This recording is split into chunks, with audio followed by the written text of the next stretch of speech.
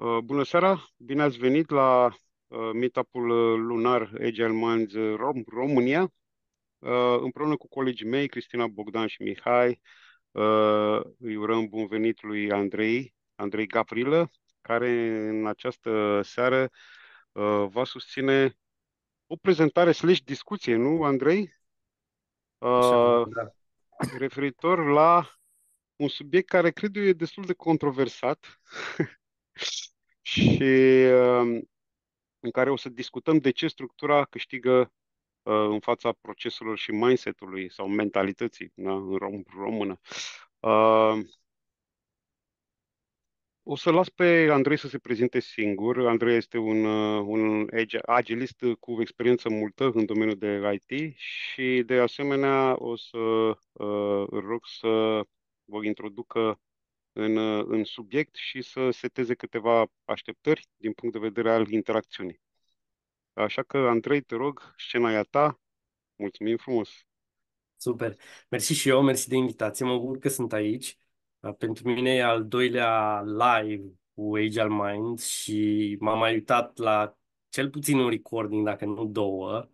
Um, încă o dată, mersi de, de invitație. Am venit să vă vorbesc astăzi despre un topic care se numește așa, de ce structura câștigă în fața mindset-ului și al procesului.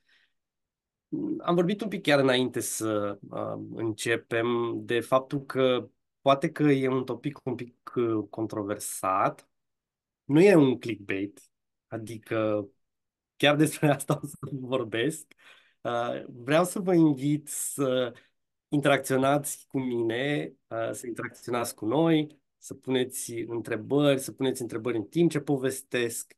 Eu m-am gândit așa, cel mai probabil o să facem o discuție de undeva la 40 de minute în care o să încerc să vă prezint ideea din spatele acestei prezentări și vom avea și două activități pe care fie că o să le facem în breakout rooms, fie o să le facem oarecum live împreună. O să vedem Uh, o să vedem cum, cum ajungem acolo și cum vrem să le facem, cât suntem, dacă are sens să facem undeva la 3 breakout rooms.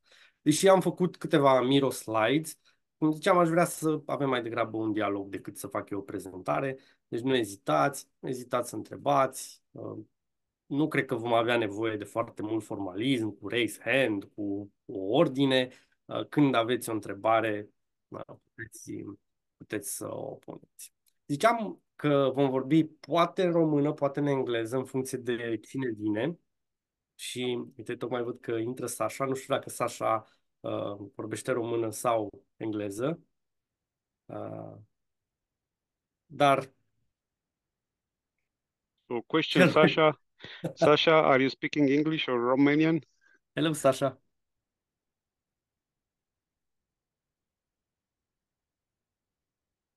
English, English. sorry. Okay, no we problem. can switch to English, no problem. I guess everybody understands English here, so. Yep. Then we will do the, the talk uh, in English and welcome. Thank you for the for joining, Sasha and um, Egor. Um, I was just saying that I, I plan to do a presentation for maybe 30, 40, 50 minutes. We will see how we go. We will see how we will be discussing. Everybody's invited to contribute. I don't want to do a talk. Um, and um, I will also have a slot for questions at the end. I think Bogdan shared with you a Miro board. These will be the things that I plan to use as a, um, as a small uh, structure for, um, for my talk. Um, with that, I think the first part, which is about organization, is over. I'm not sure if I'm forgetting something, Florin. Uh, um, if you like to share the screen, maybe with the Miro board. Sure. Maybe maybe some people could not. Uh... Sure.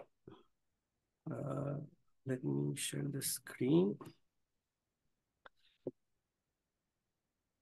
It's good. We can see it, uh, Andre.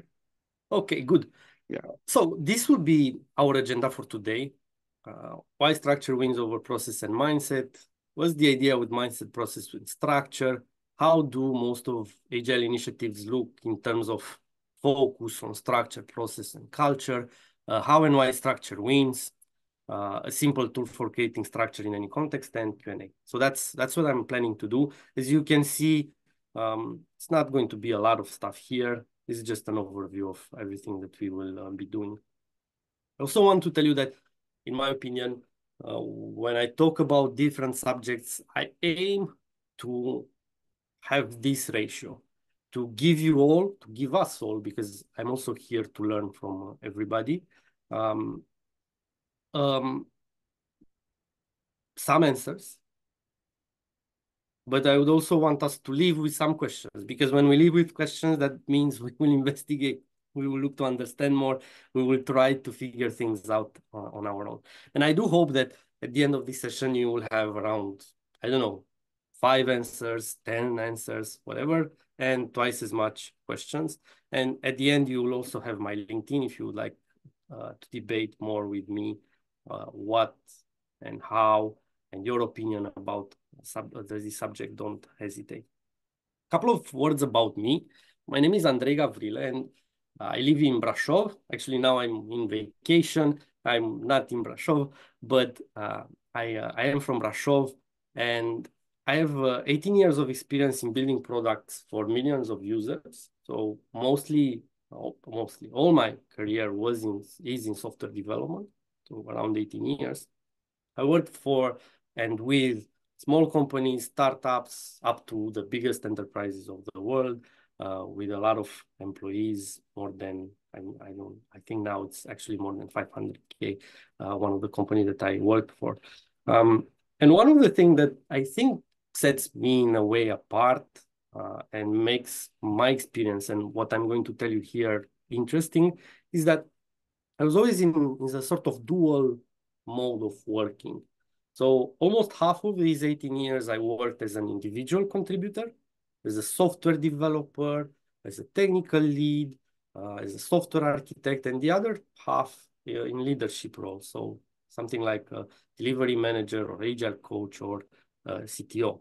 Uh, the same half of these years, I worked for product companies Probably, as you know, in product companies, we will be focusing on one market, on some user segments, and we will be getting very, very in-depth to understand the dynamic, everything that's happening there.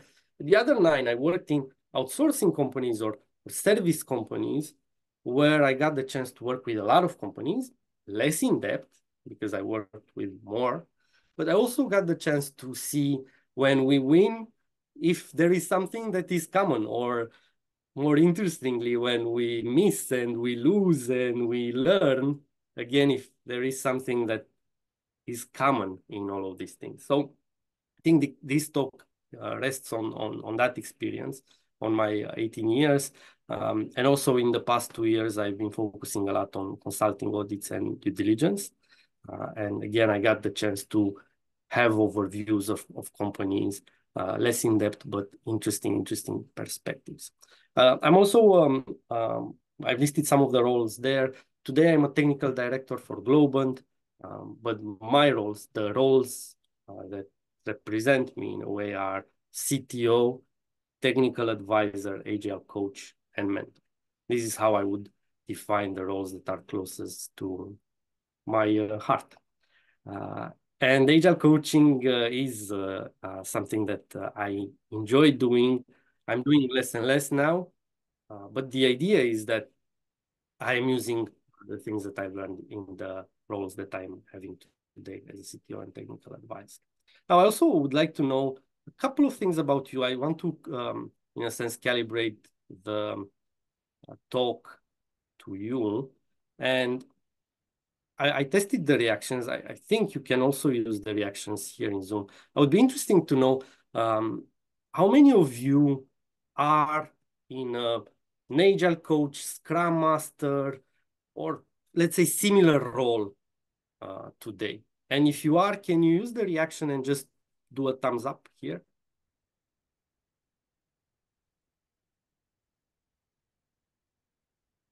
So I see around, okay, I see around eight people.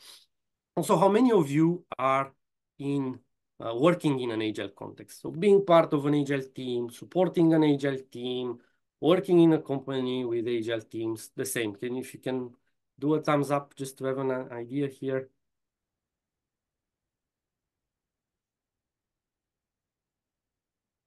Okay.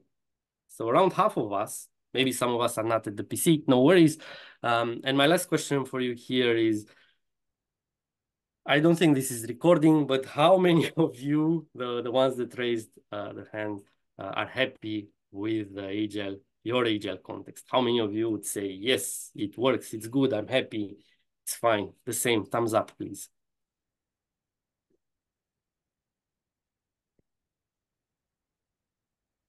Mm, so, so, okay. So only two, uh, two thumbs ups from what I saw. And I think that's around 20 to 25%. By the way, I'm only uh, having one screen.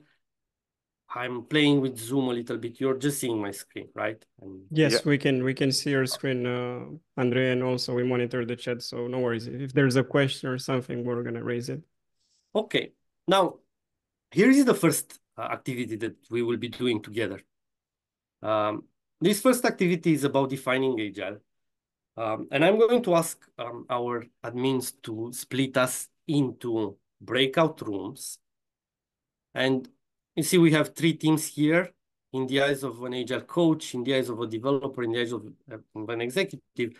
Here I, I'm going to ask you, the teams, to define what agility is, but not how you understand it, but how you feel people in these roles understand it.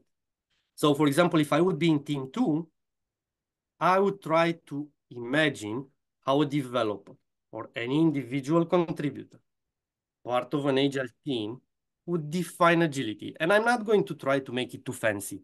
I'm just going to write a couple of things here. So maybe the developer is going to send say something like, okay, for me, agility is uh, uh, doing work in iterations and uh, I don't uh, getting annoyed by the definition of ready or whatever. I mean, we're not looking for anything fancy. We're just looking for a short conversation about how we feel that as a group, these roles will be defining agile.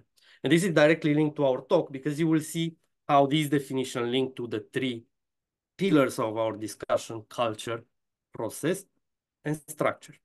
So is it clear? You also have here a short instruction of what we are going to do. Feel free to use any LLM, highly encouraged, especially if you, I don't know, find yourself into a team that has no idea what an agile coach would think, just feel free to use an LLM. The idea would be just to see how we think that these roles define agile, and agility. Any questions?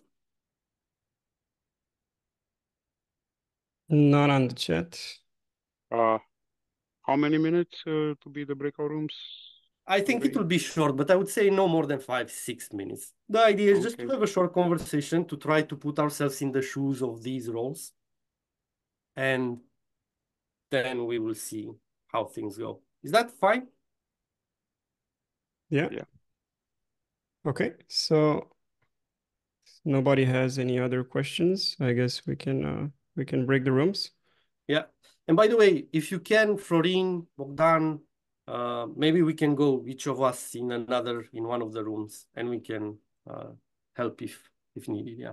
Sure. We will need to manually move inside the rooms uh, because I automatically distributed the participants. So as co-hosts, we will need to manually choose. So uh, yeah, no okay. worries. I, I will go in uh, room three in this case. Okay. I'll go in room two.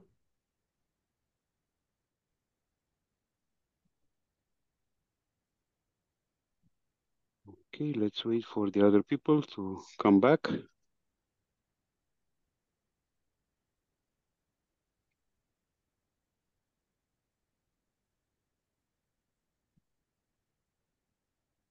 I think everybody's back, right? That's correct. Okay. It was six minutes, by the way. I gave five and plus one uh, as yeah, uh, the extra good. one, as Andre mentioned. So that's good. So let's take a look on, on what we discussed. So just as a reminder, we focused on how we feel that these roles would define agility per se. So let's go to team one and tell us quickly what you've discussed and what's the idea here, please.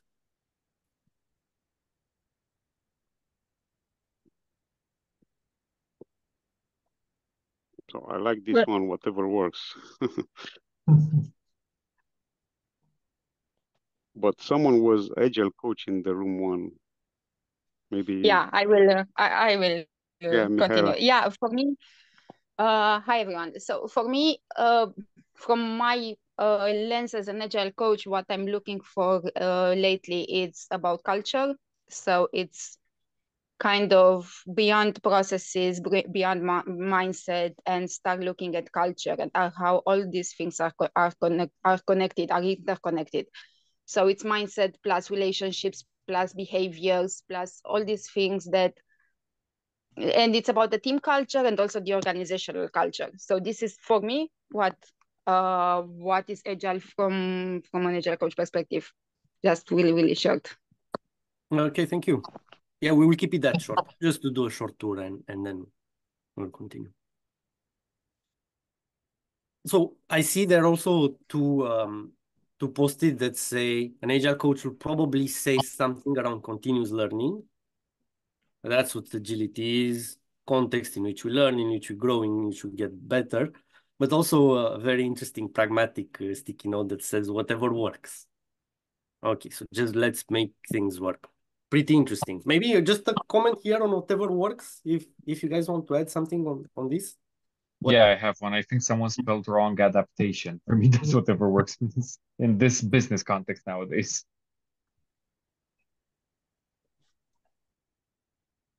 Okay. Thank you. Let's go to team two. So the here we said what agility is through the eyes of an individual contributor, a developer in the Scrum sense, right? Any member of, a, of an agile team uh, or an, an individual contributor. So let's see here. What what did you guys discuss in room two? I don't know if somebody wants to share from from our room. I volunteer Bogdan. Okay, so you volunteer Bogdan, comma Bogdan, or you volunteer me? My- I volunteer yourself, Bogdan. Okay. Okay, then I can wrap it up. Thank you, Vlad. So we took the context of basically a developer joining an agile team with zero knowledge about agile. So that's that was the framework. uh, that was the context. And uh, basically, uh, a good way of putting it is, well, I think the developer had some knowledge about agile because the answer is very, very good Yeah. creating a context without interruption where you're allowed to maximize the value of your work. Um, that's the happiest path. That's the ideal path of uh, of the agile environment. Okay. Agile for me, it's an environment where tackling uh, tackling risks as early as possible in an iterative approach. Again, somebody read about agile before, so the context that was initially presented wasn't quite respected, but we we liked it. And also, we enjoyed the predictability aspect that the developer would think about recurrent events, consistent and clear goal of the events. So basically, thinking about trying to predict the unpredictable. This was a quote uh, shared by Vlad, so I thought it's it's well worth to, to capture it there. Okay. Thank you. Let's let's do uh, the last line. So how do you think an executive, company owner, up and management would define agility? How do they see agility in I would speak about my uh, my contribution very quickly. I put in buzzword uh, because I do believe uh, agility tends to be like teenage sex. Everyone talks about it. Nobody really knows how to do it. Everybody thinks everybody else is doing it. So everybody actually claims uh, they have it. And I'll leave my colleagues for uh, the rest of the ideas that they uh, they supported. Thank you. I added a sticky note regarding uh, the faster delivery. Usually, executives see agile as a way of getting things done quicker and faster delivered to production and released. Yeah, thank you. Uh, okay, I'll be next. So I um, mm, proposed and we added some uh, keywords on innovation, uh, customer centricity, faster time to market, and return on, on investment. As uh, some of them uh, are really focusing on uh, getting some uh, real value and uh, evaluate those results. So we have the level where is OKR are important. So uh, most uh, first of all, we're gonna focus on the most important uh, key uh, result and focusing on customer because we want to get more value of collaboration with them and uh, getting the uh, feedback and also faster time to market because on uh, L3, L4 level of management, they do uh, really care about uh, having uh, a faster delivery and faster time to market. Okay, excellent. Thank you. So thank you everyone um, for this.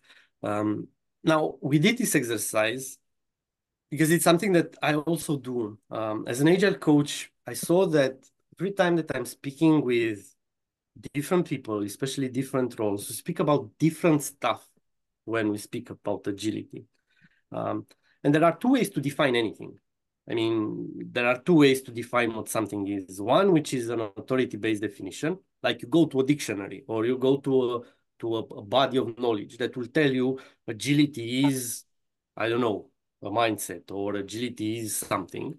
Um, and the other way to define something is through common understanding, which is you go and you sample a population, you go and you ask people in a population, what is agility to you? And actually to me, um, because agile is such a buzzword, it's such an overloaded word. So we discussed about that, but also overloaded word, which means it means different thing to everybody. I do like to, to do this exercise with a lot of roles and ask them, what do you think agility is? And here is something interesting. I usually ask through the nature of my work, uh, agile coaches, scrum masters, maybe product owners, so people that in general are responsible for introducing or supporting agility in the company, what agility is to them. Then I'm asking team members, people that are part of teams doing the work, what agility is to them. And then I'm asking executives, BVP directors, uh, product managers, uh, more than just, in my opinion, not team POs, or we can discuss a little bit about that, but let's say on a more executive level, product manager on a more executive level, agility is to them. And here is what people tell me. These are approximations, but I have I have uh, some some numbers. When I speak with agile coaches and scrum master, around 55% of them will tell me something around the mindset. So way that we approach things. They will tell me about uh, iteration. They will tell me about collaboration. They will tell me about managing risk. A little bit what we discussed here.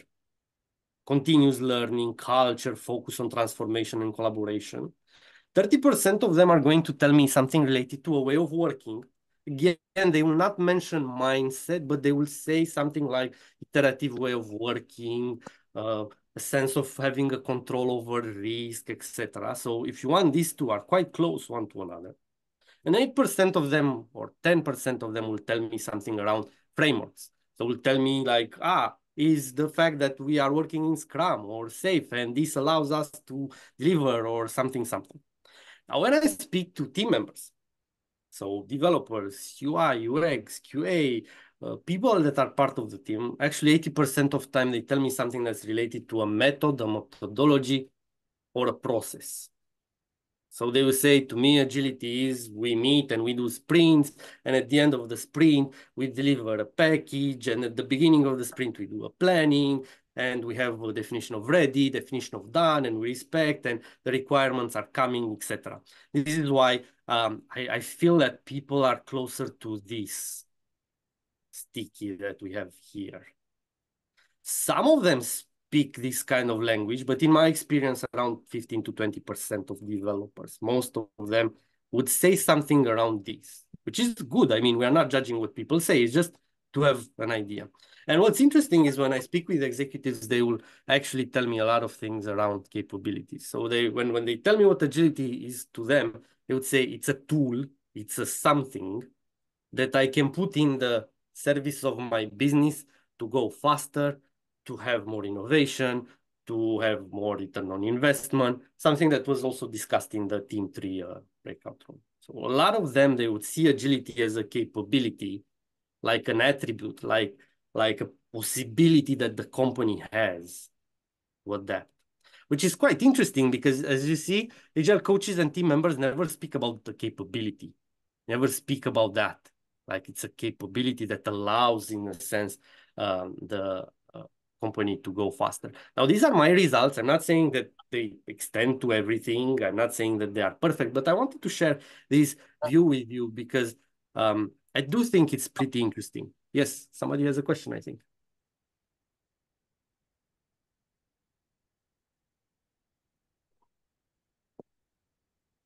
No, it was just just a, a noise in, in that case. So again, for executive, 30% of them would, talk to me about Scrum, about installing Scrum in all their teams and doing that and synchronizing work and, and all of those things. 50% of them will, will talk to me about practices like CI/CD or things that uh, their company should have. Now, why am I telling you uh, all, all of these things? Twofold, because this is how companies, roles, members, individuals think of agility. And this will help us a lot into our discussion about process, mindset, and structure. Um, and um, I do think that it, it, it is through how we see agility, we also measure it and adapt. What do I mean by that? Is that when executives will say, well, whatever, this agility is not working for me, most of them will think about that, about the capability. They would say, in the end, my company is not faster, is not delivering more results, is not more innovative, the things that we discussed in number three. When team members would say the agility is not working for me, they would mean that the PO is not bringing requirements that are respecting definition of ready. That there is some pressure from management to deliver faster uh, without respecting their way of working. Uh, so process orientation in a sense. Uh, and when agile coaches would say agility is not working in his company, they would say the culture is not there. People do not behave as they should. We are not respecting the values and all of these things. And again, this ties into the three things that we said that we will be discussing today. And I think you kind of saw them. You kind of saw them in here. So um, I've been working in transformation and supporting agile journeys. I actually like more this uh, wording supporting agile journeys rather than transformation because transformation feels like we start and we end somewhere. Agile journey is just a journey it will it's never ending in a way. But i've been working uh, supporting uh, agile journeys and transformation for probably 10 years now. And again when we speak about how companies are doing transformation they are going into three major ways.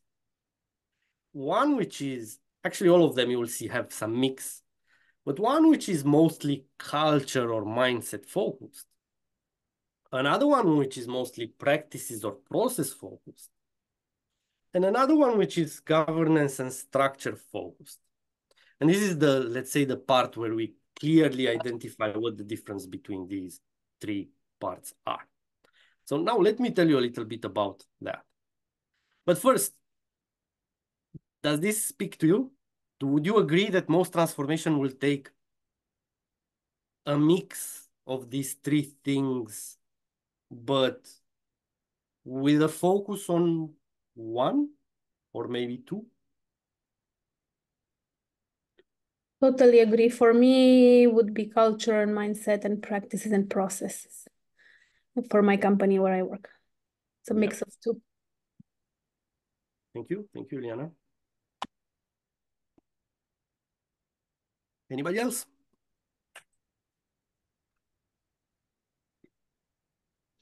In general, Andre, I'm, I, I saw that many companies are focusing on the practices and processes rather than the culture and mindset, to be honest. Uh, and the previous exercise was really interesting because made me think about having a common language about what agile means for company, an organization, and different people from there. Because if you don't have a common language, then probably, as I'm experiencing right now in uh, in the endeavor that I I'm I'm uh, working on, so there is a disconnect between what someone wants to mean when are discussing about some topics, you know. So you are saying some buzzwords, and anyone and everybody understands something else. Yeah. Actually, that's what's happening most of the time. Uh, and that's why when people say Agile is broken, my favorite question is, what part of it? Well, how how do you feel it is broken? Because it's that's not really adding uh, enough information to me to to understand where where we are. And to me, this is really insightful because yeah, I, I think it proves, and I do suggest that you you look at that. It proves that we are speaking different languages. We look at things differently, and there is no way that we can row in the same direction if we understand things differently, if we look at them um, in a sense differently. So coming back to this, the three ways that you can approach an agile transformation, or as I said, as I prefer it, an agile journey is. Uh, may I add something on transformation? Please. Uh, so uh, what I observed that uh, most of the um, transformations are focusing you know some consulting stuff when when they're doing it they are focusing on practices and processes for sure and then structure like organizational uh, or organograms org structure mm-hmm. and they underestimate culture and mindset and as a result they are trying to uh, engage more uh, agile coaches to uh, resolve uh, it, th this issue. That's a that's a very good point. Um, thank you. I will I will speak a little bit on, on that um, later because we actually need all three of them. The question is, yeah. where do we start? What what makes the most sense, and how can the, these three support each other?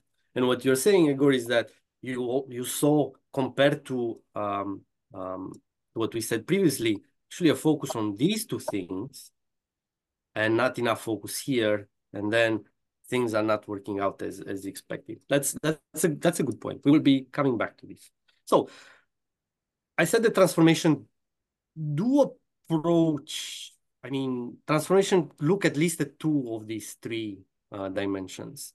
Um, but the one that will start with mindset will be focusing a lot on this, changing hearts and minds, being agile rather than doing agile, focus on values and principles.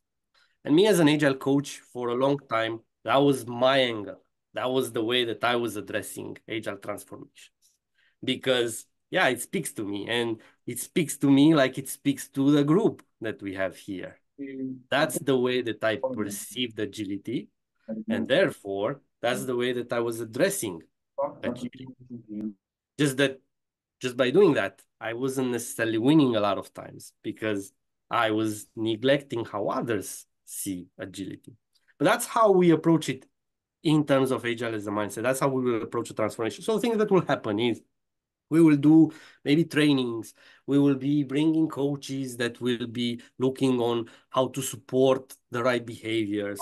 We will be um, supporting teams, telling them why, I don't know, customer collaboration is super important, customer proximity, working together as a team, having a, an always, in a, in a sense, a positive outlook, stopping and inspecting and adapting and doing all of this stuff. That's good.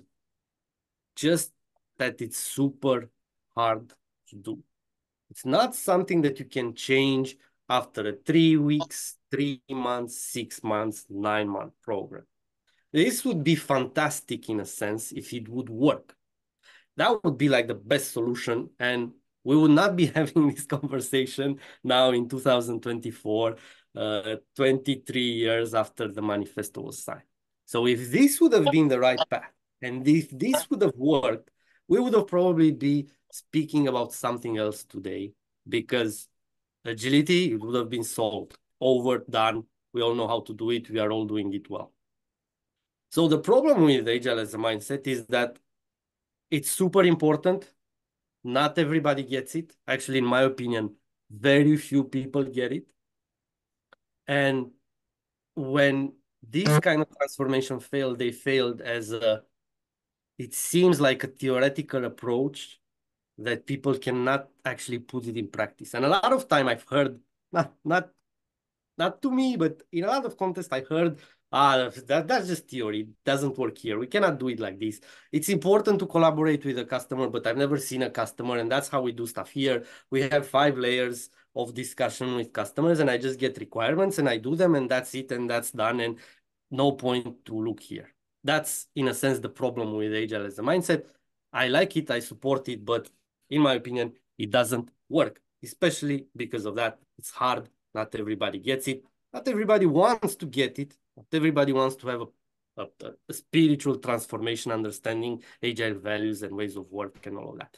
It's sad, but that's the truth. I will take questions if you want on the end of these three slides because they come together and I think it will make more sense if, if you will be having some. Now, companies that approaches agile as a process, which in my opinion is most companies, they will focus on, a lot on how to do things, on practices, on role, on events, on artifacts. They will be installing Scrum. They will be installing SAFe or LeSS. They will be measuring their transformation by saying, how many teams did we agilize?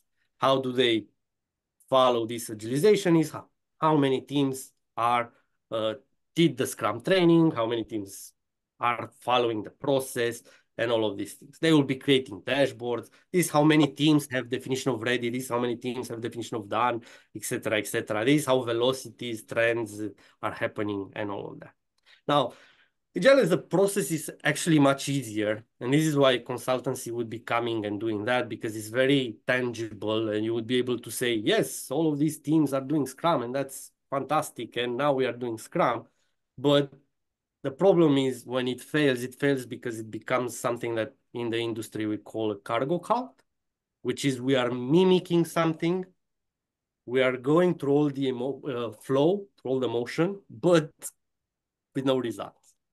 So things that happen are people are saying, of course, we are doing a sprint retrospective. Nobody comes and we started to uh, send a PowerPoint. Or say, of course, we are doing sprint retrospective. Nobody comes, but we are still doing a demo uh, of the what was implemented to uh, the entire team or something like that. And that's what's going through the motion, but not necessarily having the benefits is. Now the, the third part, which is agile as a structure, it's actually focused on something that is defining and respecting rules. So Egor told us something about the fact that the organization is a type of structure. But that's not the only type of structure.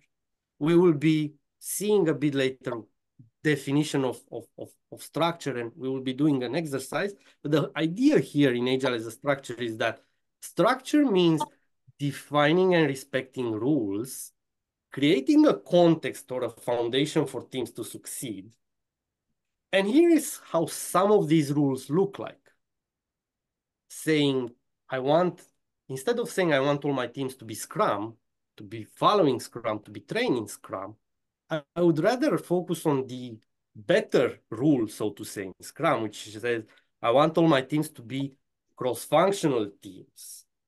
I want all my teams to have backlogs that I have the right attributes rather than saying all the teams are doing Scrum, saying, no, that's important, but not the most important. I want to be measured something else. So in a sense, I can extract from the mindset and from the process a set of rules that I want my context to respect. And I can list this kind of rules. And to me, that's another form of structure where the way that I approach transformation is not necessarily based on installing a process, it's not based on installing a mindset, which would be great, but doesn't work. But it's actually based on understanding how many of my contexts are respecting a set of rules that are appropriate for me. And that's the kind of structure that I want to create and that in general, when I work in agile journeys, I create. And these, as I said, are just example of rules do I have all the team cross-functional teams? Are all teams trending impediments down in a sense? So they are having less and less impediments as the time go by. I don't care if they do perfect Scrum, but I care if the, their list of impediments is well kept and that trend is going down. That, in my opinion, is what I call in, in the scope of this presentation and in general, the structural approach. You might be having questions because there, there are some there is some confusion around some of the things here, but we also have a, an exercise letter to understand what that is.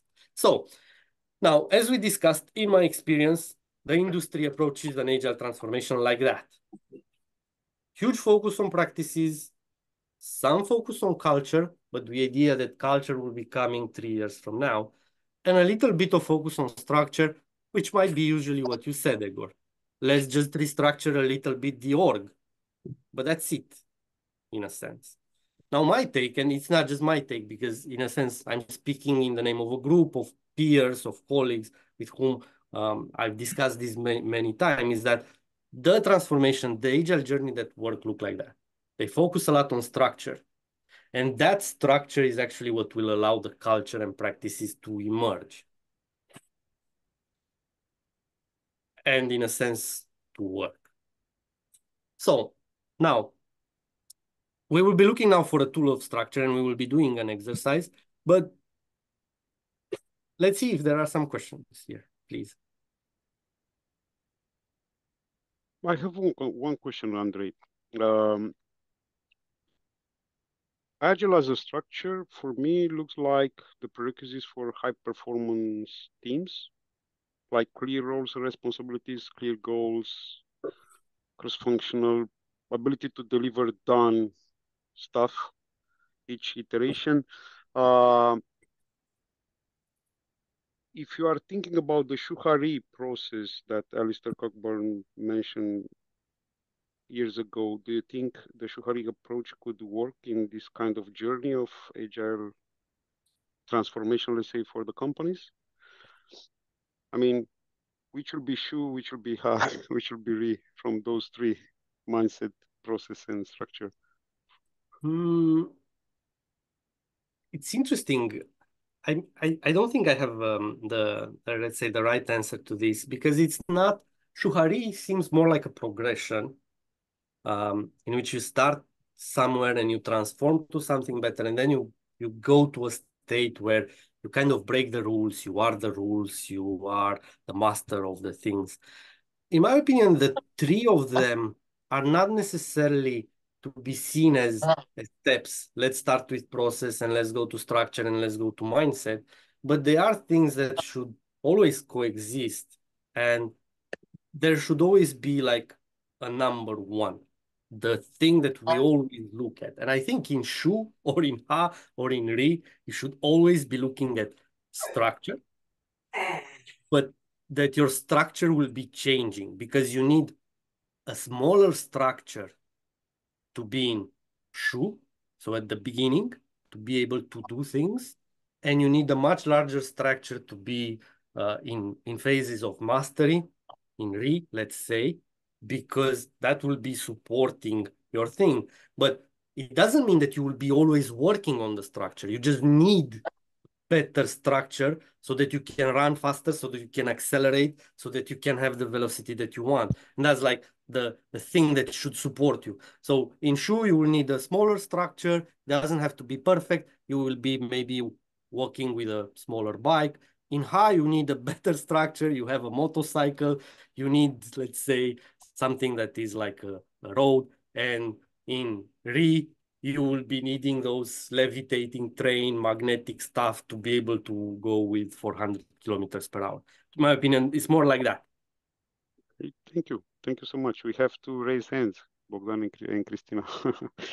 yeah, I like the I like the question, uh, uh, Florin, um, about the Shuhari because I was thinking about the same. My question is though, if we are saying that structure is the foundation, how can you make sure you define a good structure mm-hmm. if you don't think about a process or if you don't have the right product centric mindset to build the foundation of the structure?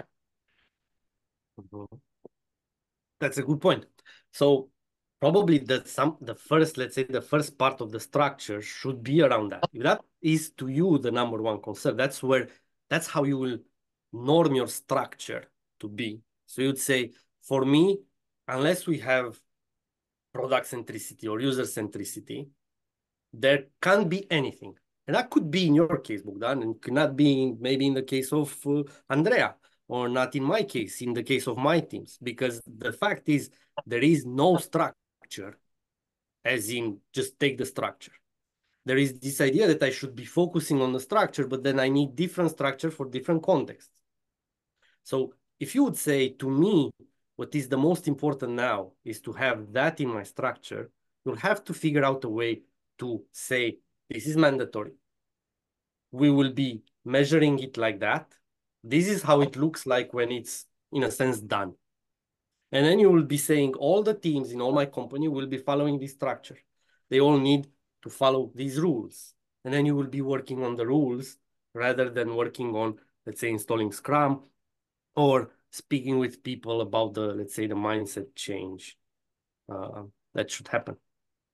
Okay, thank you for the answer, Andrei. Christina? Yeah, so I don't have a specific question, just wanted to share my understanding with what Andrei just presented to us. Uh, and I would like your opinion on this, Andrei. The way I see it is focused on the problem, focus on the problems that we have now as a team and where do we want to get uh, in terms of uh, performance, what are the most important issues that are uh, keeping us back, and try to build something from that rather than decide as an organization or as a group or as a team that we need a new process or a need need to change the culture. That's usually that usually comes in iterations after we address a vision. We have a vision we have a goal in mind we have something to aim for and we address many other issues that we have as a group um, and that in the end will generate a new culture and a new process. That's the way I'm uh, reading into this. Yes, and you start with that, you start with your vision and you start with your problems and you start with the opportunities.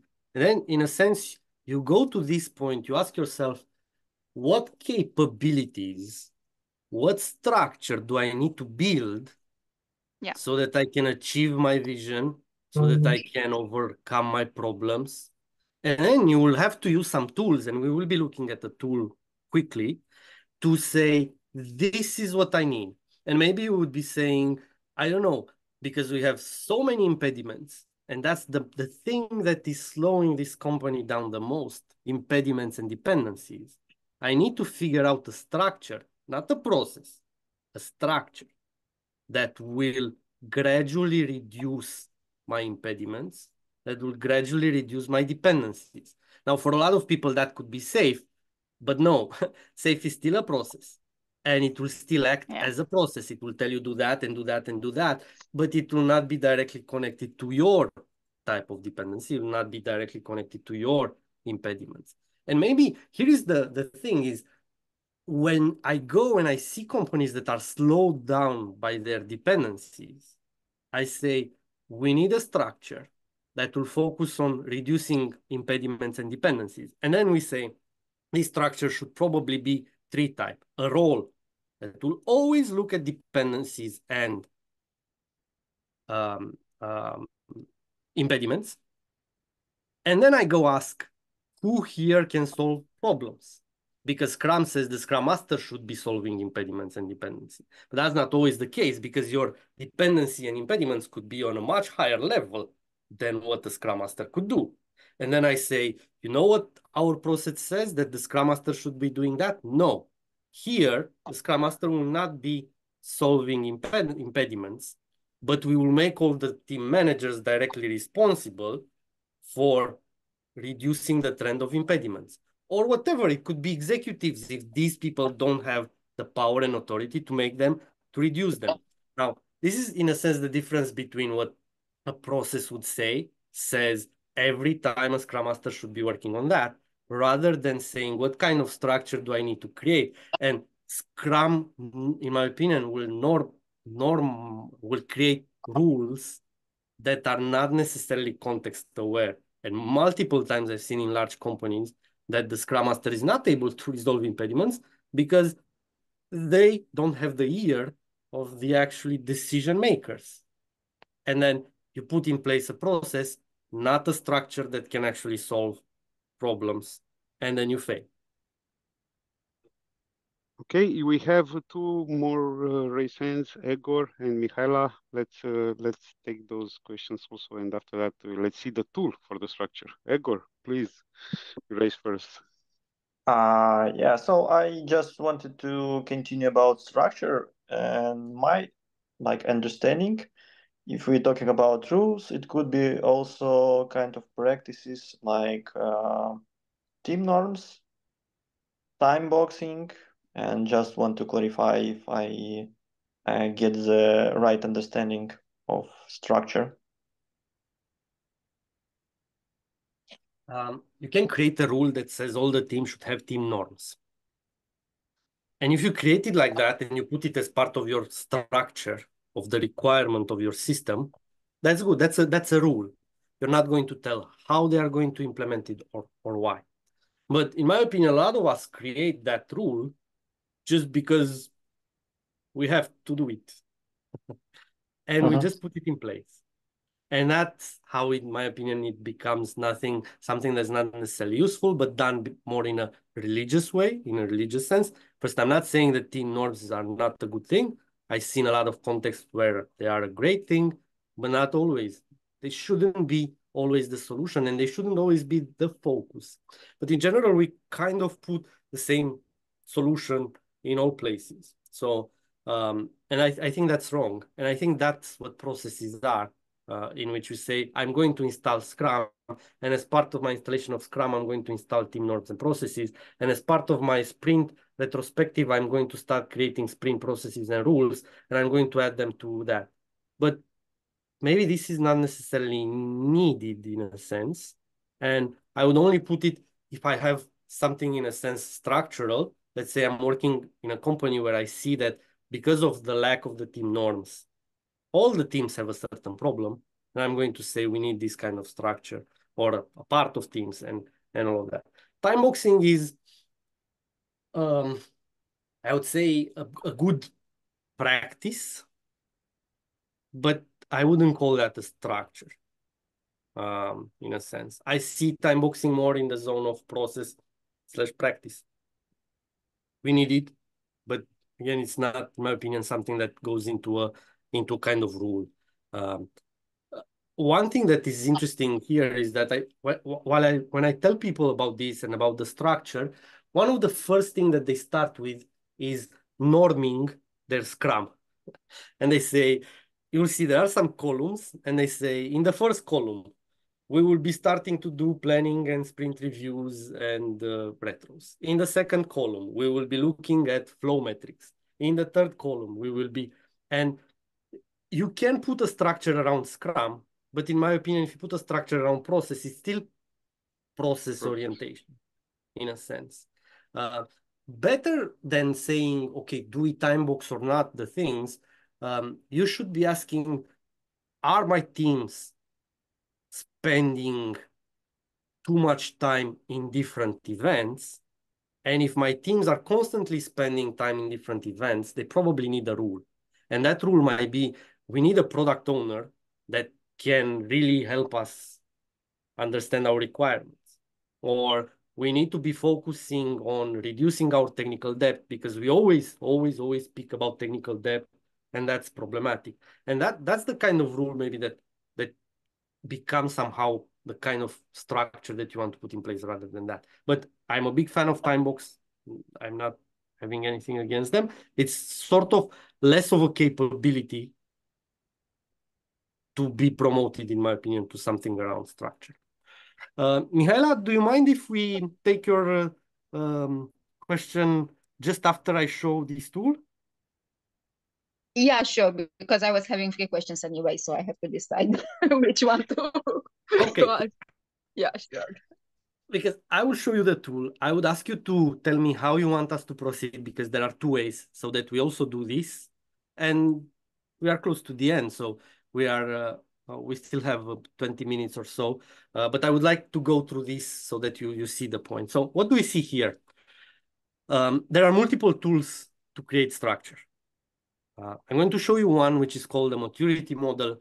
Um, maturity models have a bad reputation in the industry, especially due to CMMI that focused a lot on auditing, Uh, in my opinion, a maturity model is a great tool if you know where to use it and how to use it and can become as anything else, just like Scrum or SAFe, something uh, horrible if you misuse it or put it in the wrong context. Now, here is a maturity tool that is coming from uh, the company that I'm, I'm working at, uh, Pentalog, in which I don't want you to necessarily look at all of these things and say, oh, that's good or that's not good, because this is custom build. The tool that I'm showing you is the maturity model, not the lines in the maturity model. And we said, we sit around the table in a certain context, and we said, if we are to do product ownership right, what kind of rules do we want to respect? And that's what created this tool, which in my opinion, which actually will tell us the kind of structure that we want to create, which is the tool that I said that I will present, this maturity model. And you see here, we've transformed all of the items into two, four columns. One that's called starter, almost good, good, and very good. Uh, now, this is actually about, oh, that's to be, this is actually, the starter is actually about risk reduction. These two are about efficiency. Efficiency. And these are about, let's say, innovation or let's say competitive advantage. Competitive advantage. And we said, so from a product ownership point of view, what are the items that we need to check, we need to do, the structure that we want to have to say, once done, we are no longer in an immediate risk of failure. And in this context, for this team, we said, we want to have an explicit vision. We want to estimate.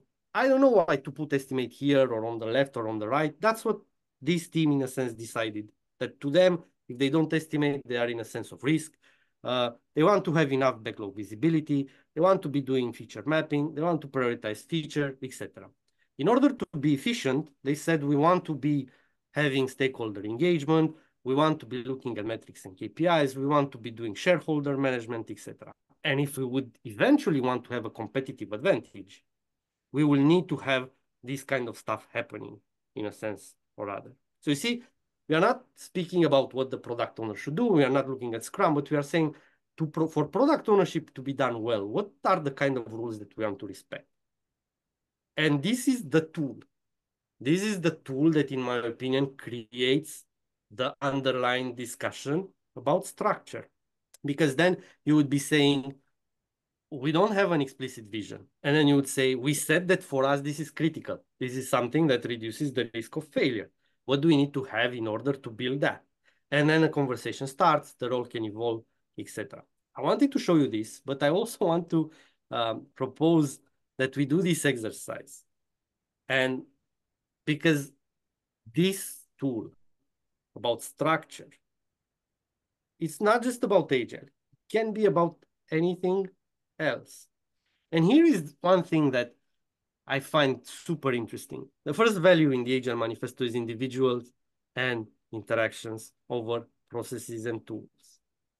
And when I go and I speak with teams and I say, what do you have in place so that your teams are happy and motivated, which to me is directly linked to the individual and interaction. A lot of companies say, um, you know, we do some uh, survey engagement from time to time to measure the engagement. Um, we do give the right laptops and we do team building and we try to look at that. So definitely it's something that is not necessarily there thought of implementing existing. The structure is not just about agility. The structure is about everything. And in my opinion, when you work with people, and we all work with people, the first question that you should ask is, what kind of structure, what kind of rules do I want to have in my department or in my team so that the people in the teams are happy?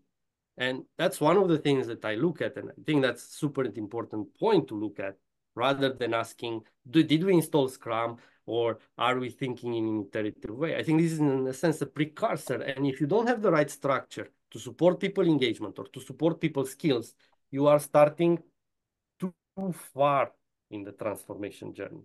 So we will not be splitting into the teams, but I do want you to um, to think. So we will be doing this exercise now together in the next um, couple of minutes, maybe four minutes. And I do want you to, to think if you will be feeling a maturity model on people engagement, you can call it motivation, happiness at work, whatever you want. In one in the teams that you have now, what are the rules that you would like your company, you to respect so that you're no longer in a risk of failure, immediate failure. When we speak about people engagement, what does failure mean? Disengagement. Disengagement. What else? Turnover rate. I don't know People the. Mm -hmm. Then what are the rules that we should all respect so that there is not a lot of waste? So here you can think of stuff that are demotivating some of the teams, some of the people in your teams. And then what what, mm -hmm. what are sorry? Go on. And then what are the rules? What are the capabilities that we want to build so that in our company, in our context, people would say we are better than most of the industry. In terms of people engagement, we do the things that are really better than everybody else.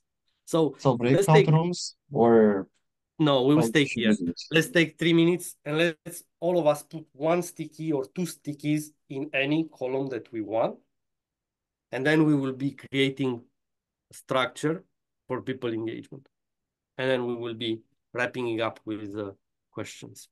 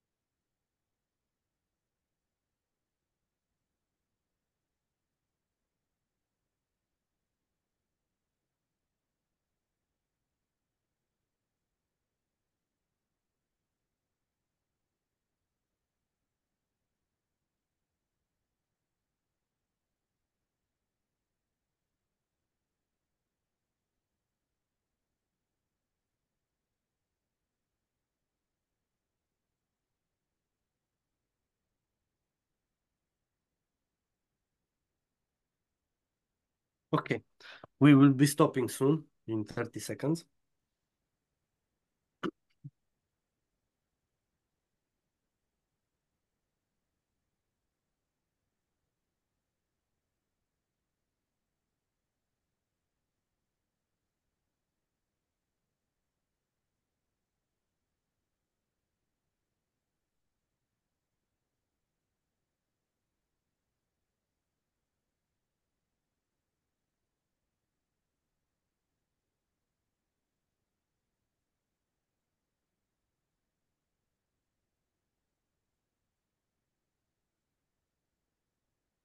Thank you. Good work. Um, I've been reading them while you were typing, and I just want to speak about a couple of things here. Certain context, this can be here or here, but the discussion is already good. We don't really care, will not be very dogmatic of where things are. But here is a rule that I like and um, I, I, I identify with.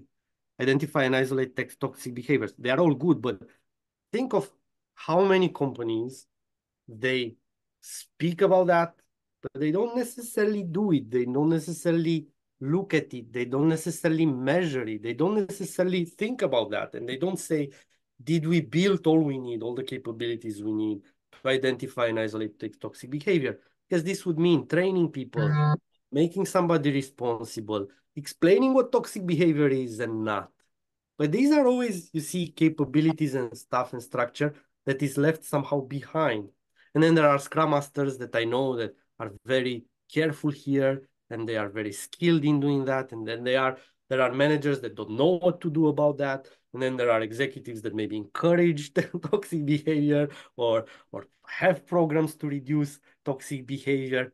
But it seems very, in a sense, ad hoc, not necessarily as a foundation that something happens. And this is what structure is all about, is creating the foundation for things to, to happen. The same, support healthy feedback and recognition. This would be very different from team to team.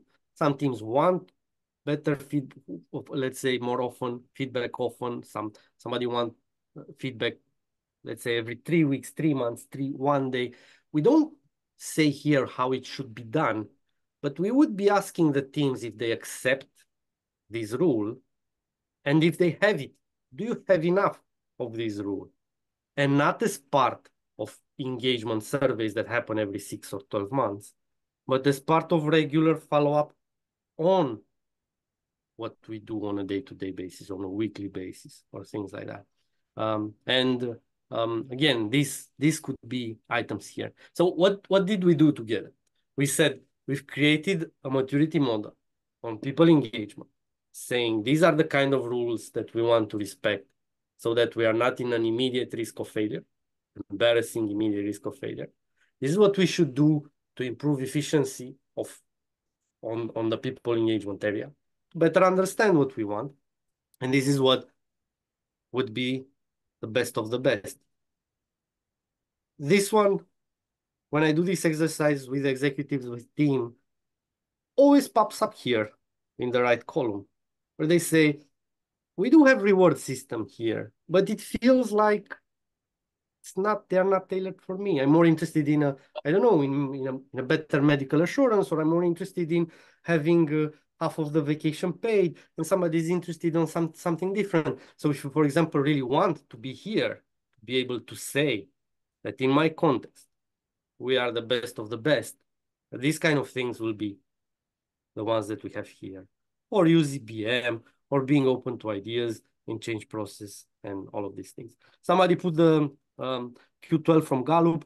Um, I think it's super interesting. I do suggest that you take a look on it. Uh, for me, again, I'm somebody who will always put here a card that says do a sort of structured industry survey, and Gallup is one of the items here. I never put it as do the Gallup survey because maybe it's not the one that needs, but follow up on the engagement and improve it from time to time. It's, in my opinion, something that will be here. So um, one word and then we wrap it up with questions. What other areas need structure? Well, everything. Uh, people, team, uh, if you work in software development, security, infrastructure, uh, engineering practices, if you work uh, in recruitment, I don't know, your recruitment funnel, uh, everything can have this kind of work. You can look at what structure do I need to create to win on everything that's important to you. I do suggest you don't start with processes, as I said. Don't ask yourself, what are the rules to make my Scrum work? But rather ask yourself, what are the rules to make my team work? What are the rules to make my company work? What are the rules to uh, do um, something that's directly connected to the business? So that's it. That was the talk. Um, I will not speak too much about how this works, but it works, proven, uh, I can tell you about that uh, directly on LinkedIn. Um, I want to thank you all for the energy, for the participation, for your questions. And I'm still here for uh, at least 15 minutes um, if you have questions. For sure, I recall that Mihaela had three. So, Mihaela, yes. I think you have the floor for the questions. Yeah, thank you. And I now I think I tried to distill it to only one, so which is like I hope it's going to be really interesting. I'm really waiting for your answer, Andrei. So maybe you can tell us a little bit what were the most unexpected rules that the teams or the organizations that you've worked with came up with.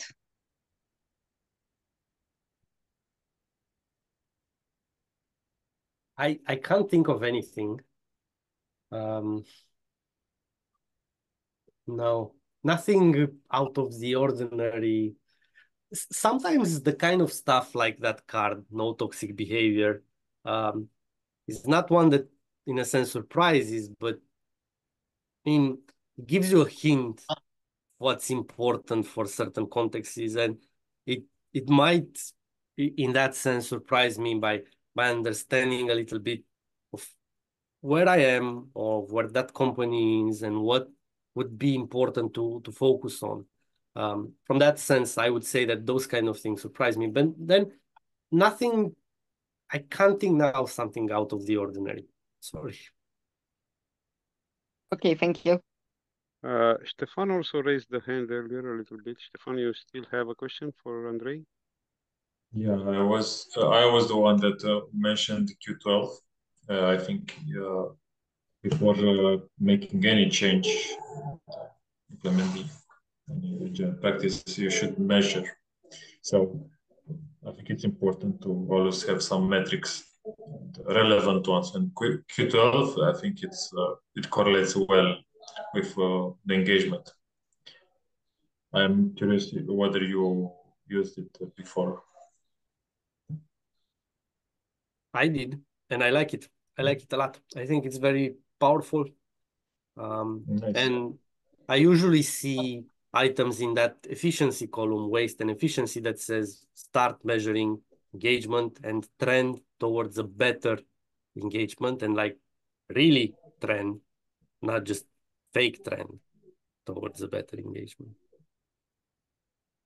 Yes. I can also add on this. I worked at a company which implemented uh, basically the Gallup questionnaire, and I can say that with the good follow up on it, it can be very effective. So meaning actually somebody analyzing, let's say the answers, making an average and actually coming to the team and asking about uh, why is this uh, ranked at this point and actually trying to solve if there's something to solve for that team.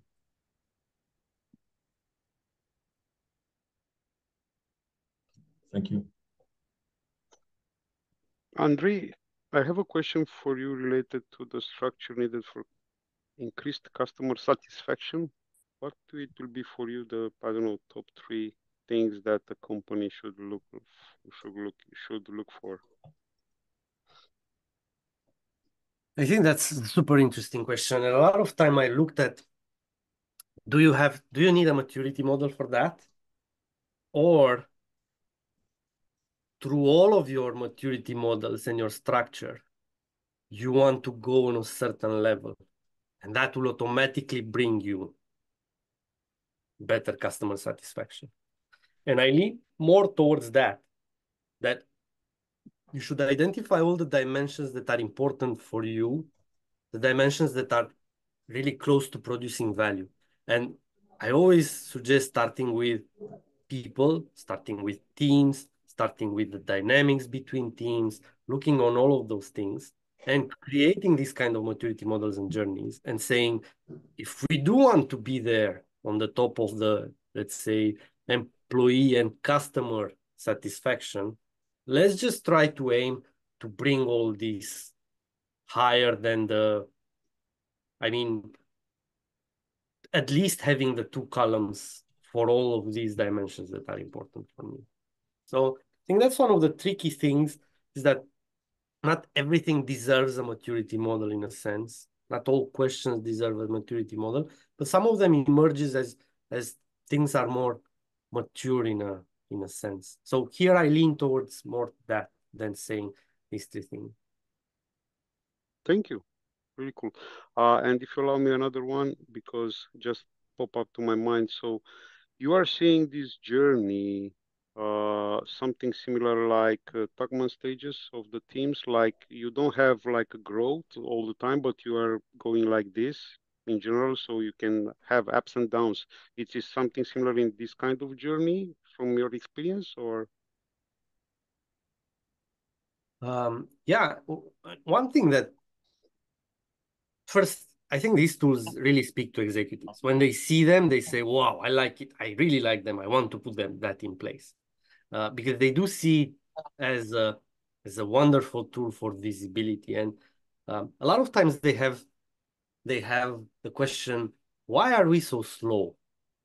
Why do, does it feel like my company is wasting so much energy? And then we create some of these maturity models and you we say, you see the column waste and efficiency. you see like nothing is checked here. So that that kind of matches what you say, that it feels like things are wasteful because all of these rules that will make your context non-wasteful, they you don't have them in place. So it's normal to not to, to not be wasteful. And what I see in these maturity models is that people will start using them. They will be maybe feeling them a little bit too simplistically, saying there is a line there that says we study people engagement and we are trending towards better engagement every three months. And then they just have a short questionnaire sent by email. They don't really know if people answer. They don't really know if people answer rightfully. They never do something to change it. They just, I don't know, maybe put in place Christmas party or something like that, hoping for things to change. And they say, oh, that's checked. But actually, if you really look at it, no, that's not checked because that's a lot of work to do there. It's not not just a simple line. It's like something that has a lot of acceptance criteria in a sense, in which you should be proving that that's that's there. And I see a lot of time that uh, we go and we feel a lot of stuff, and then when we scrutinize it a little bit, we say, ah, this is actually not done, and this is not done, and this is not done, and this is not done. And then we say, if we really want to make this work, we should take it seriously, uh, in a sense. So that's kind of like what I thought of while, while you said the Tuckman journey for team formation. Where we Thank go. you so much. Thank you, Andre. We have time for one more question. Egor has raised the hand, so please, Egor. Uh, yeah, so I also thinking about uh, maturity assessment model. Uh, how it is linked with this maturity model and uh, also uh, should we think about not only product ownership level, but uh, on a team level or on an organizational level? So what could you uh, share on this? There are there are many assessment models for maturity, um, and they can help. They can be a good start. But my recommendation is never take somebody else's maturity model and just install it in your company, because it won't, in a sense, take account of your context. You're just just copy pasting something.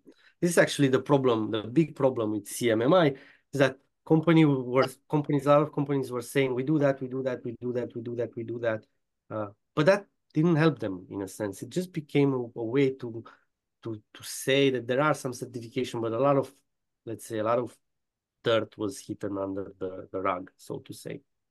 But other maturity models are interesting to to inspire you in a sense. But what I was trying to say here is that if you understand that you can build a simple maturity models with these three columns, and you will start saying, what's important for me? People, teams, security, infrastructure, uh, uh, I don't know, onboarding processes. And you start listing the, the things that are important for you and you put them with your teams, with your companies in these three simple columns and you say, where are we now? And where do we want to be? Because every item there requires energy, and some of them a lot of energy.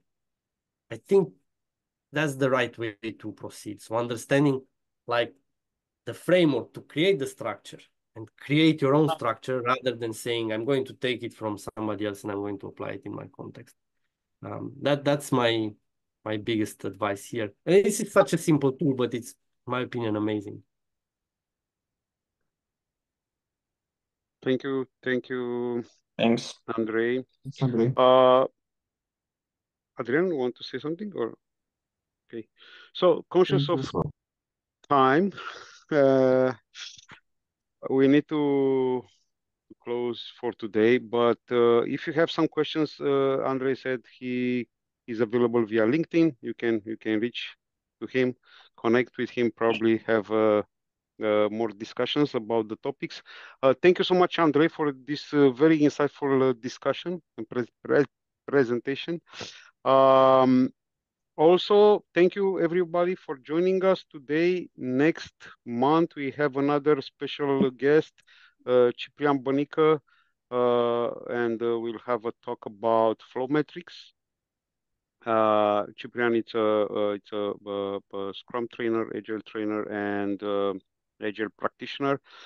Um, and 18th of July is the date, so one month from now, um, we'll uh, send an update via the meetup and uh, hope to see you there.